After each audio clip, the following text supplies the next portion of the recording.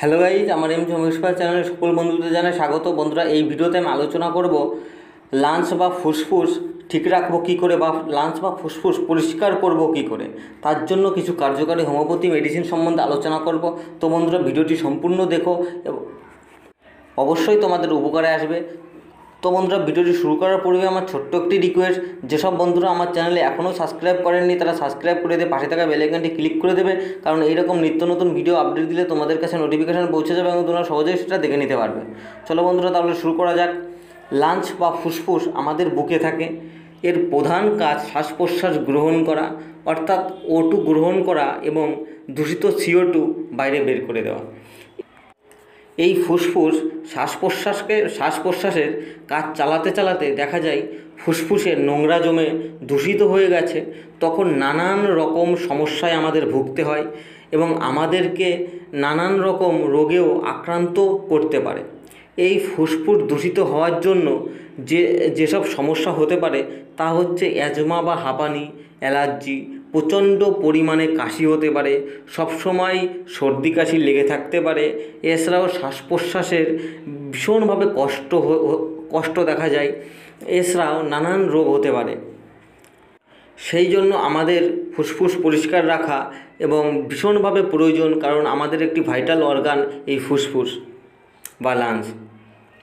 আমাদের এই ফুসফুস দূষিত হওয়ার নানান কারণ রয়েছে। তা আমাদের এই ফুসফুস দূষিত হওয়ার যে কারণগুলি রয়েছে, তার মধ্যে প্রধান হচ্ছে অত্যাধিক পরিমাণে ধূমপান করা।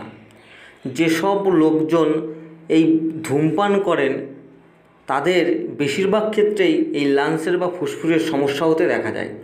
দূষিত কোনো পরিবেশে বসবাস করা, এছাড়াও বায়ুতে বিভিন্ন ধরনের দূষিত পদার্থ ঘুরে বেড়ায়, সেইগুলো শ্বাস প্রশ্বাসের মাধ্যমে ফুসফুসে গিয়ে জমা হয়ে জমা হয়ে হয়ে একসময় ফুসফুস দূষিত করে দেয় এবং এই ফুসফুস এই ফুসফুসের কার্যক্ষমতা তখন কমে যায়, যার ফলে এই সব রোগ হতে পারে।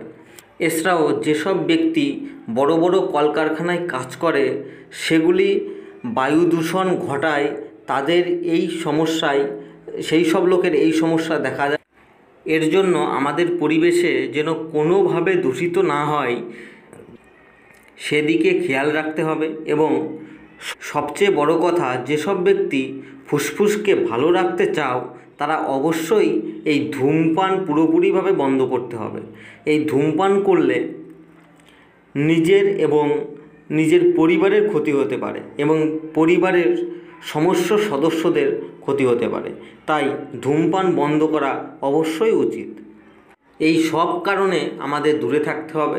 যদি ফুসফুসকে বাঁচাতে চাও এবং লাঞ্চকে বাঁচাতে চাও তাহলে এই সব দিক থেকে অবশ্যই দূরে থাকতে হবে এবং এছাড়াও ফুসফুস ঠিক রাখার কার্যকারী কিছু গুরুত্বপূর্ণ হোমিওপ্যাথি মেডিসিন রয়েছে যেগুলি ফুসফুসকে পরিষ্কার করে দিয়ে, পরিষ্কার করতে ভীষণভাবে কাজ করে থাকে। তো বন্ধুরা, সেই সম্বন্ধে আলোচনা করব। এই ফুসফুস বা লাঞ্চ পরিষ্কার করার ক্ষেত্রে গুরুত্বপূর্ণ হোমিওপ্যাথি কার্যকারী কম্বিনেশন মেডিসিন রয়েছে, সে সম্বন্ধে আলোচনা করব। এই হোমিওপ্যাথি কম্বিনেশনটি প্রস্তুত করতে যে যে হোমিওপ্যাথি মেডিসিন লাগবে, তা হলো, প্রথম যে মেডিসিনটি রয়েছে তা হচ্ছে অ্যাসপিডোসপার্মা, মাদার টিনচার দ্বিতীয় নম্বর রয়েছে জাস্টিসিয়া, মাদার টিনচার এবং তৃতীয়, তৃতীয়টি রয়েছে হাইড্রাস্টিস, ক্যান, মাদার টিনচার এই তিনটি মেডিসিনই তোমরা থার্টি এমএলএ সিল প্যাক সহ কিনে আনতে হবে এবং একটি একশো এমএলের কাচের পাত্রে সেটি সম পরিমাণে তিনটি ঢালতে হবে এবং ভালোভাবে এই তিনটি মেডিসিন একসঙ্গে ভালো করে ঝাঁকিয়ে মিশাতে হবে এবং মিশানোর পরে তোমরা প্রতিদিন দুবেলা সকালে এবং বিকালে কুড়ি ফোঁটা করে হাফ কাপ জলের মধ্যে দিয়ে সেটা পান করতে হবে। এই মেডিসিনটি এক মাস যদি পান করতে থাকো, তাহলে ফুসফুস পুরোদমে পরিষ্কার হয়ে যাবে এবং তোমরা সুস্থ থাকতে পারবে। এই কম্বিনেশন মেডিসিনটি খেলে পরে তোমাদের ফুসফুস সহজেই পরিষ্কার হতে থাকবে এবং এটি গপ তোলার ক্ষেত্রে ভীষণভাবে কাজ করে থাকে এবং ফুসফুস পরিষ্কার করার ক্ষেত্রে ভীষণভাবে কাজ করে থাকে। তো এই মেডিসিনটি যদি তোমরা এক মাস সেবন করতে পারো। সকালে এবং বিকালে খাওয়ার আধা ঘণ্টা আগে কুড়ি ফোঁটা করে হালকা গরম জলের সহিত, হাফ কাপে হালকা গরম জলের সহিত এটি সেবন করতে হবে কুড়ি ফোঁটা করে দিয়ে।